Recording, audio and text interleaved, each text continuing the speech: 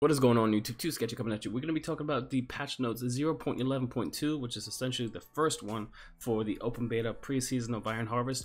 Uh, just going to go through the general changes and the balance changes as well. So let's talk about it. Alright, so greetings harvesters. Thank you for your feedback. It's really motivating to see how many of you enjoy the game. We've been uh, we've taken your constructive feedback to heart and are working to improve the beta. Here are some of the changes we've are able to implement over the last couple of days. So that doesn't mean that this is the only one. Pretty sure we'll see a few more patches like this. Um, so general changes, we have VSync options has been restored. They fixed the uh, FPS limit, so there's no FPS cap. Due to the update, previous save games were invalid, so hopefully your uh, campaign is going to remain or the progress that you've done to it.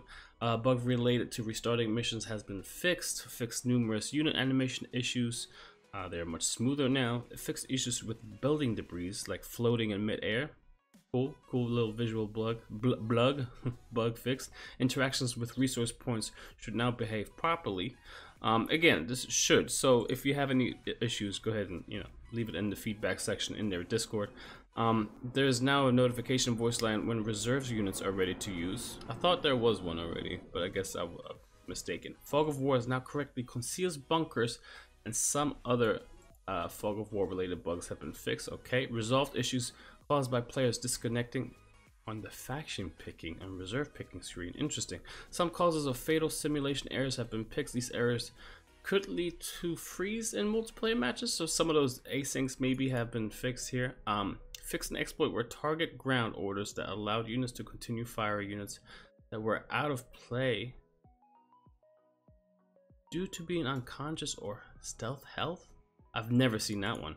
Olga's explosive charge can now be placed in buildings such as bunkers. Ooh, exciting. Fixed numerous occasions where incorrect text was displayed. Okay, fixed an issue whereby old reserved slots were not updated visually. Oh, we saw those. Okay, so I even talked about that during the stream. Uh, improved visual impact sound effects increase variations nice. So sound effects get a little bit more love here. Um, we added and replaced some unit voice lines. Interesting. We've made various improvements to the ui navigation transition and fixed inconsistencies. Hopefully we can press those buttons at the bottom now. Fixed invisible barricades on a second Polania campaign mission. Balance changes. All right melee. We recognize our infantry melee system needs improvement. That's all we wanted to say. It needs improvement and we aim to do this for future updates. Listen guys, we talked about it, we told them what was wrong, and they're fixing it, which is great. That's all we can ask for, and well, we'll see how it goes down the line. But for now, uh, it turned out uh, getting tomato was way too easy, and damage was inconsistent. Therefore, Vanguard is getting nerfed. Nothing crazy, but this is definitely still a nerf, so you're probably going to be able to withstand these one-on-one fights. They're not going to be able to melee you to death. So this is just a Vanguard, not Urusvit in general. Because the Vanguards were the one that were pretty damn strong. So from 15 to 12, Rifleman, Polania Rifleman melee, um, getting buffed a bit. So they're not going to be as strong as Urusvit, because that's 12, this is 8. So there's a bit of a, you know, inconsistency, not inconsistency, but there's definitely a balance. But you have to remember that Urusvit has to get in close and Polania and Gunner. Gunner melee. So this isn't even this isn't even Saxony. Saxony's fine. I thought for some reason this was going to be Saxony. This is uh, Widowsweet Rifleman, Polania Rifleman, Gunners, which I didn't know Gunners did that bad in melee actually, and then Flamer Infantry melee um, down, so Flamers aren't going to be able, because Flamers do have to get pretty damn close. I didn't even know that was an issue. Interesting. I think this is the most important one. This and this. So they can actually fight against them and in range beat them down. Vanguards. They benefit from melee situations the most, obviously. Being the unit with the highest power to accessibility ratio. They're also a there's what? There's also a bug that let them focus damage on individual enemy squad soldiers instead of distributing their damage. This is me. Got it. Okay, so they would focus down on an individual model in your squad, which would just drop them immediately five times, obviously, obviously because there's five models. This is what made them win every matchup. Uh, Vanguard weapon damage versus light armor is now down. Whatever this increment of measurement is here, uh, it's down by two points, 0.2 points against light armor. So anything that's like a, a Strashnik, it's gonna have a difficult time with, you know. Which it was, it was struggling against that kind of stuff already. So that's your counter, and it's going to remain a counter for sure. Gunter, his wolves Nachtantak now appear briefly out of shadow, attacking infantry units and pushing them back. His melee fish punch, fish punch, fish punch now works properly, doing less damage to armor. It's easier to hit for enemy range attacks, and his health has been reduced, making him less tanky. Also, his visuals have received an upgrade. Ooh, okay. The thing about Gunter that made him tanky. I'll have to see what his health is now. It doesn't say on here. The thing that made him tanky, he had light armor. Olga and Anna just have just are unarmored. They don't have anything. So his weapon damage versus armored targets is down, so he's not going to be able to YOLO himself into into mechs anymore. And his his hitbox radius, hitbox radius. I'm guessing that's not him being shot, his radius, but the radius at, which he needs to actually shoot. I think.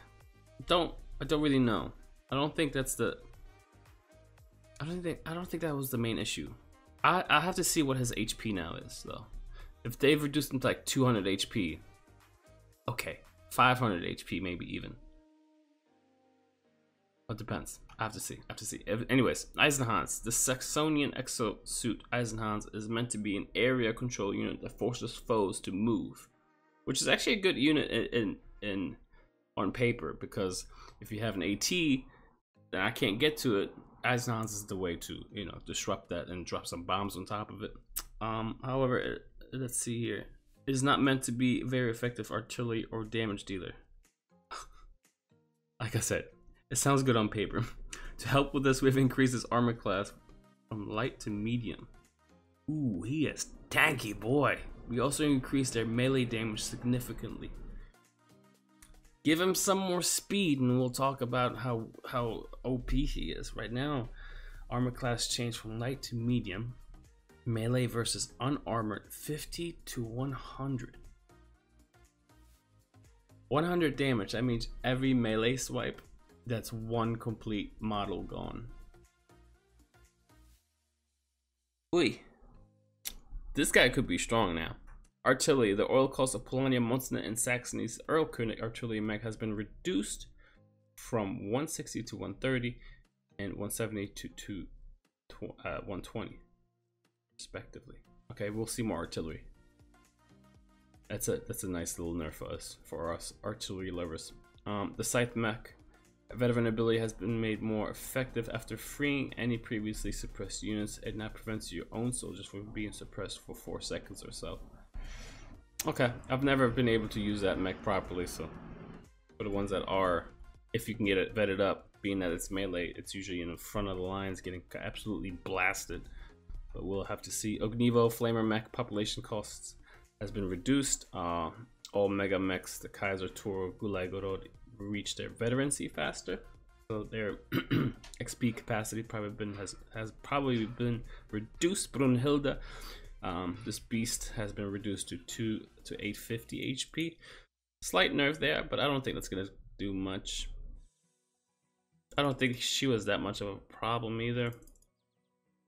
Lech Kos is tankier than her.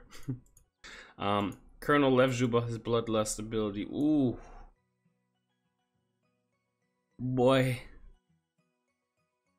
This this should have been up here.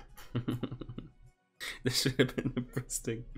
Oh my god. Lev reduced by 20% lifesteal. Cheers, guys. Thank you. This is a good one. This was a good one. Excuse me. Um, I like what I see. There's a few things that I just like. Did, was that really a problem? I didn't know that, but yeah, it's good. It's good. We're, we're headed in the right direction. It's not. It's nothing too. The bus is driving in the background. It's nothing too drastic and, and you know just life altering. But Zubov getting reduced is huge. Um, getting reduced is huge. You know, we're getting a bit buffed here in melee. I wish we got more damage in the in the guns for Polania, but that's okay. I think Polania is okay. I think their their mechs is what makes them very powerful right now. We'll have to see how this goes. Um, this video is about 10 minutes long or so, and I think that's enough talking. So, um, I'm gonna be streaming here in a little bit. Uh, you guys want to stop by, and I'll see you in the next video. All right, too sketchy out. Peace.